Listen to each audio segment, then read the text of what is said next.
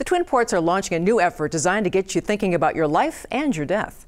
I'm Cathy Wurzer, the host of the program called End in Mind. On Thursday, November 8th at 7 p.m. on PBS North, we'll talk about what it means to thrive with a serious disease, disability, or when facing death.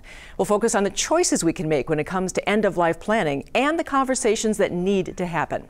I hope you'll join us on Thursday, November 8th for End in Mind on PBS North.